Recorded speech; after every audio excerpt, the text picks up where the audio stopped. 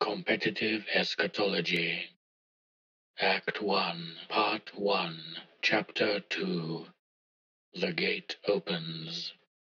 Yahweh awoke in his human form in his room at Site 17, knowing that the hour had arrived. In an instant, he was at Site Zero. The personnel in the control room, some half asleep, leapt to their feet as he appeared. He took a moment to watch the dawning look of comprehension on their faces. 0514 staggered to his feet. The time has come, Yahweh intoned. In another eye blink, he was at the gate. The being that the Foundation called SCP-001 Gamma bowed in front of him, lowering its burning sword. Its four flaming wings spread in reverence. Uriel, Yahweh said, it is time. Open the gate. Lead my armies across the earth. I hear and obey, my Lord and my God, Uriel said. The gate began to creak open. Behind it was an army of angels, thousands of bright creatures, many-eyed, burning with pure red light.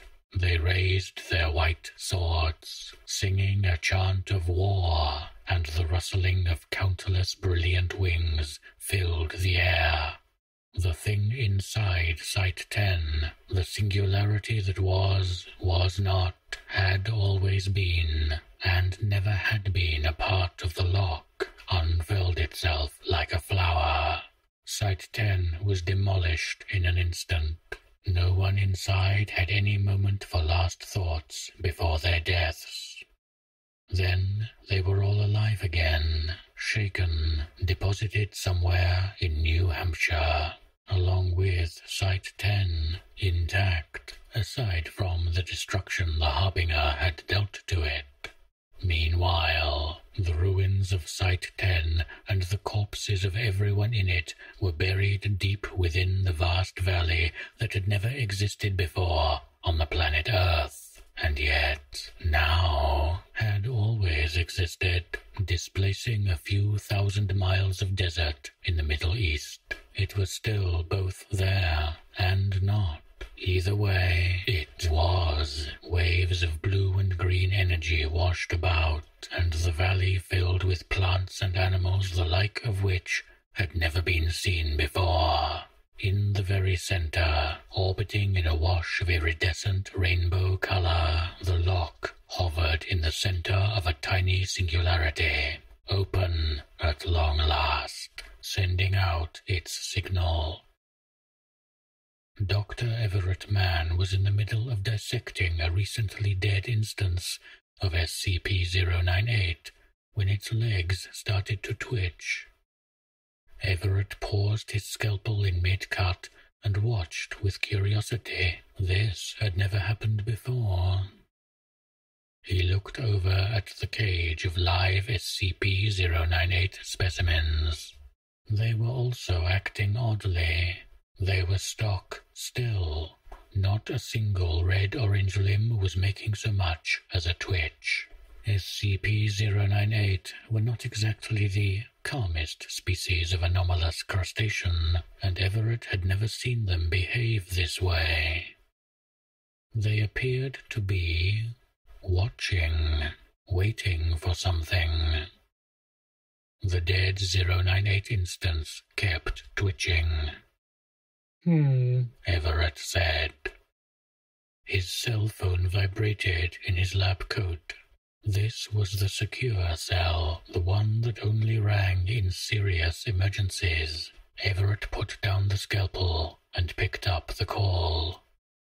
Everett Mann, Site 2036, Status 5. He said. The sword falls and rises, The voice on the other line said. But it kills in one stroke. Everett replied. Emergency Order Patmos is now in effect. The voice said. 995 has breached containment. 616 has opened. We are awaiting report from 001 Gamma. We are securing 073 and 076. And you want to know about 098? Everett said. Have SCP-098 activated? The voice asked. I am sorry to disappoint you. They are acting a bit odd, but I cannot say.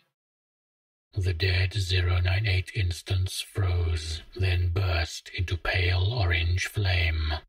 After another moment passed, the other 098 specimens burst into flame, all at the same time. Little slots in their shells opened, and delicate, vibrating, dragonfly-like wings sprang out. As far as Everett could tell, each 098 instance sprouted as many wings as they had limbs. Even the dead instance, which was now looking significantly less dead, they breached the sides of their cage in an instant, all chittering at once in some alien language. They ripped through the plate glass window of the sealed experiment chamber and swarmed away through the site, demolishing the walls that got in their way. Everett stared after them. Never mind, Everett said to the voice waiting on the other line. I'd say that probably counts.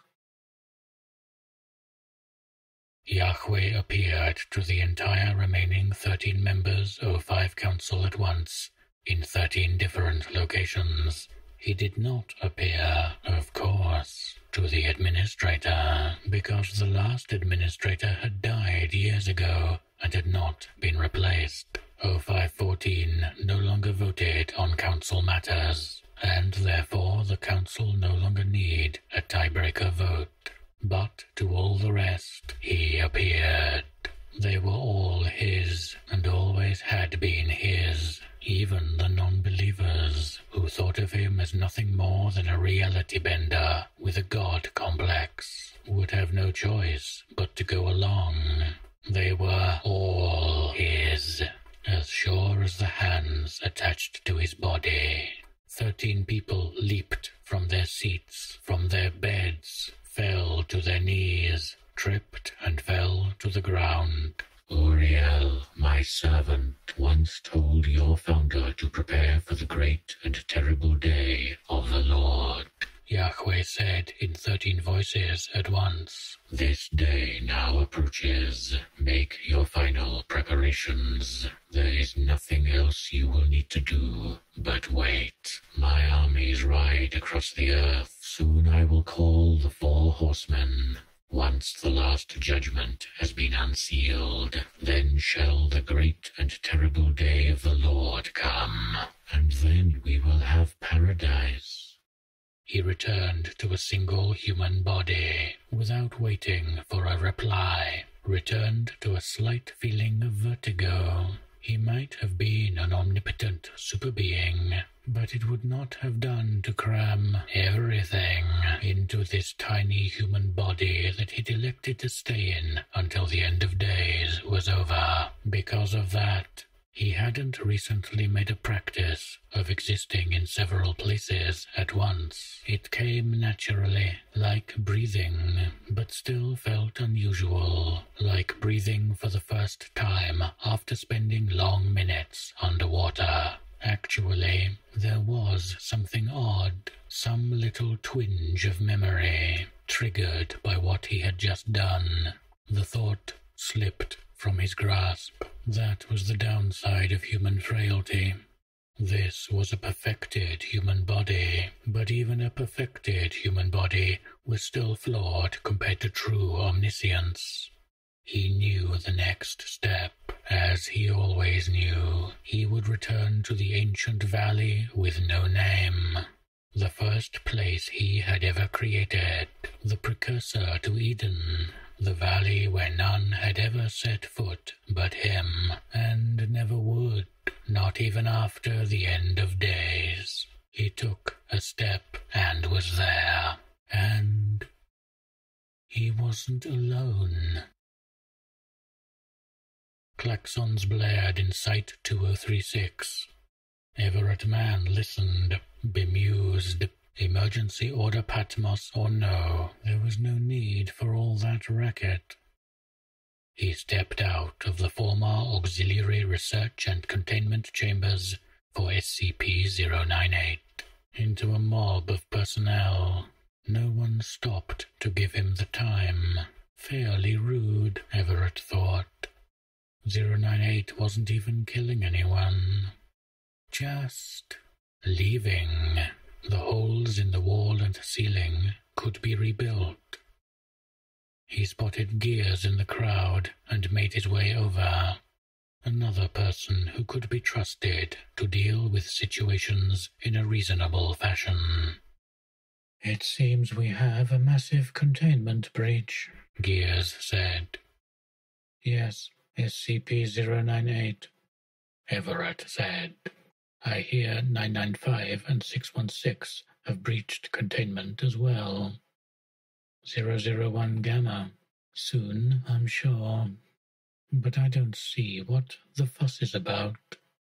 We've stopped XK class scenarios before. We can do it again. The only difference in this case is that we might have to deal with 0514 putting up a fuss. Gears held up a hand. Interruption was not his style. Everett knew, which is why he could stop anyone in their tracks with that gesture. I am not speaking of Patmos, Gears said. Nor 001 Gamma. Oh? Everett raised an eyebrow. What else has gotten out? A whole damn lot, Gears said perfectly calmly, swearing for the first time that Everett had ever heard.